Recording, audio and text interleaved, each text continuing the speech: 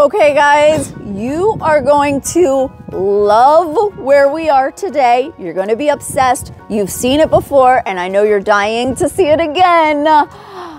Prepare yourself. We are at Falconry Kerry, which means this is going to be an amazing video. You're going to see things you have never seen before, and they have so many new birds. So let's get on this adventure.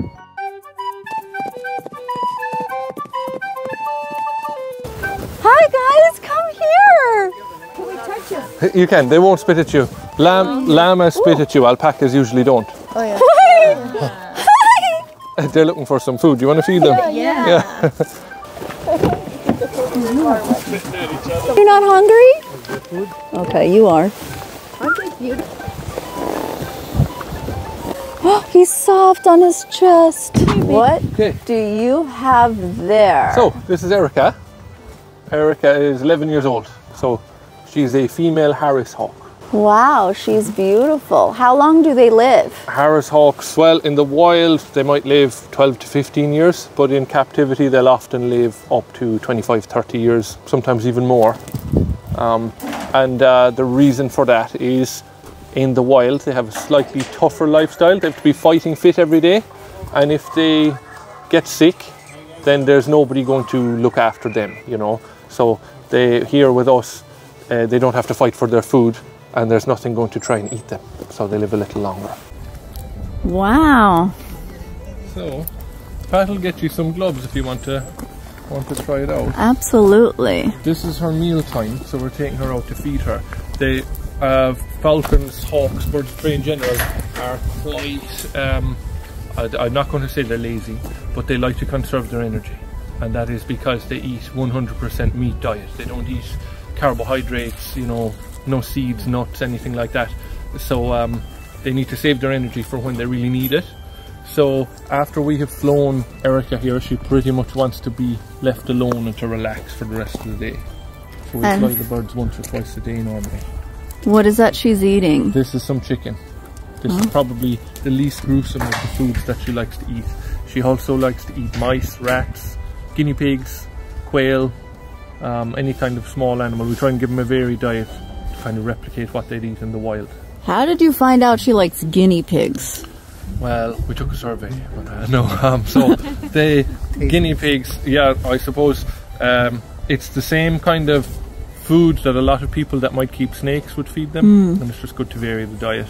And also, guinea pigs are native to South America, which is where the Harris hawk originates from.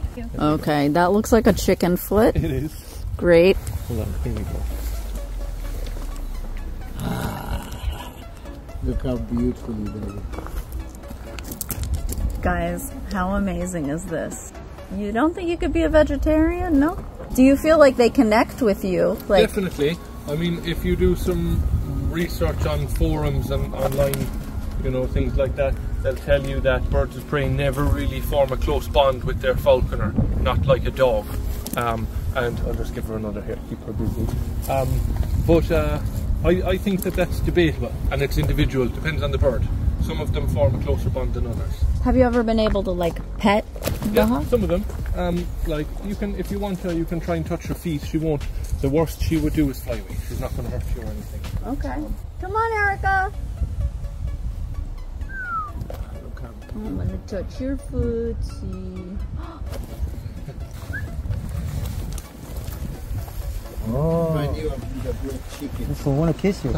You can't kiss the hawk, George.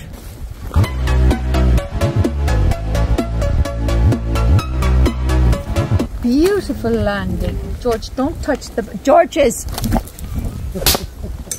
he could have stayed on me longer.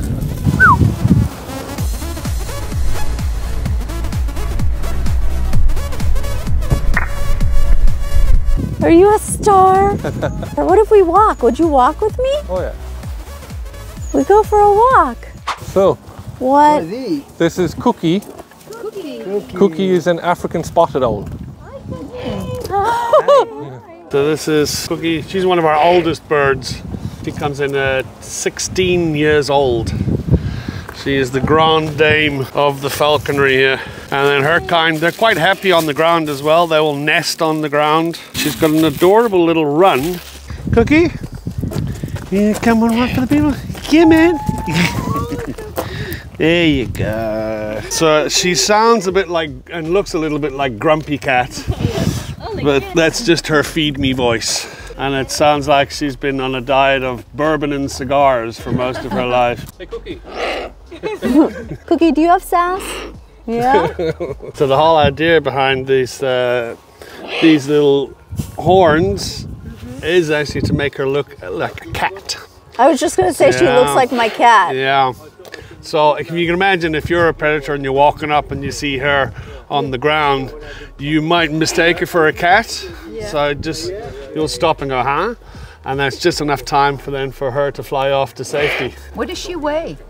One pound eight and a half ounces. So we weigh the birds every day, every morning, so that we can see just how much to fly them. Because obviously you don't want to overfeed them. Right. All gone? Whoop. Hey. Yeah, bags all gone. All right. Okay. Yeah, yeah. Hey, so good. Oh, I think so. Look at it, right? Yeah. Oh my god! I have an owl on me. Didn't you have an eagle also? Yeah. Um, we have an eagle as well called Can, but he's he's not going to fly today because he ate too much yesterday. he's just going to sleep for the day. Oh, wow. Look at his eyes. Look at this. This this is Leah. This she's actually a little bit nervous of alpacas. Whoa. She doesn't like them.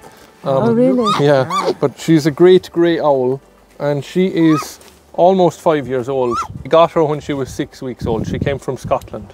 These are the tallest species of owl in the world, but they are, or the, the longest, but they're just all feathers. See that? It's, They've got a really, really dense coat of feathers. Babuccini.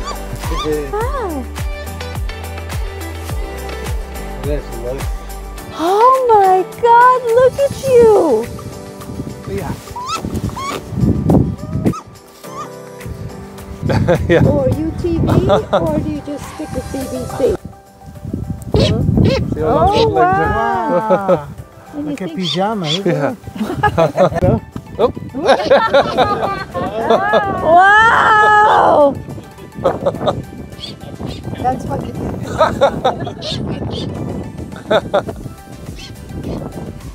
Oh, you're so cute. Here, you can hear her talking to me there. Do you hear the little chirping sound? Yeah. Yeah, she does seem connected to you, I Yeah. can tell. All right, Willow.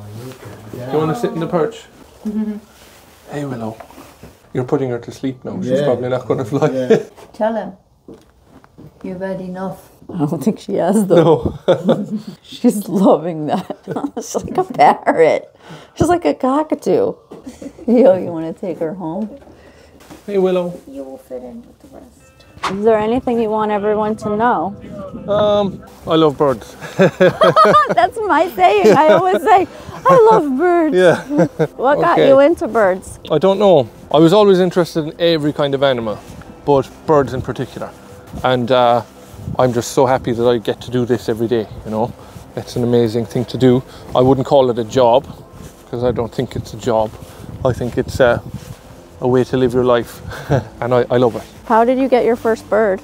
My first bird was a pigeon that I found when I was about seven years old that had broken his wing.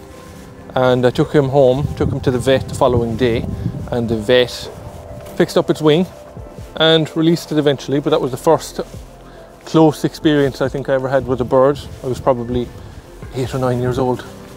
Um, and uh, after that, I think we had a cockatiel. I'd say I'd say I was maybe 15 or 16, but it was it was a bird that had come from another home. It was probably it was quite old when we got it. Not very very friendly. What was your first bird of prey? First bird of prey um, was a snowy owl actually. Um, snowy owl called Pearl. Guys, so we've come to the end of the tour, and my dream has happened. I'm cuddling an owl like a parrot. I don't know if you've been paying attention, but this bird's not food driven because this bird has been, obviously loves food, but this bird has grown up kind of living with Liam. So once this bird realized it was able to get head scratches, it was like, I'm not leaving. And neither am I. This is unbelievable. A bird stepped up like a parrot. You guys got to come out to Falconry Kerry. I will put all the info in the description. You are, this is, you're going to live your dream. Just come tell Liam that you're a sniffer. Mm-hmm. Oh my God, look at this. Step up, step up. This is an amazing bird. Oh, she's lovely. Okay, we gotta go, George. They're gonna have to kick us Willow. out. You gotta give Willow. the bird back, George. You gotta give the bird back, George. I think she wants to go back. You gotta go. He's got another tour. He's very busy. Right, so where, where are you headed for next? Uh, we're going to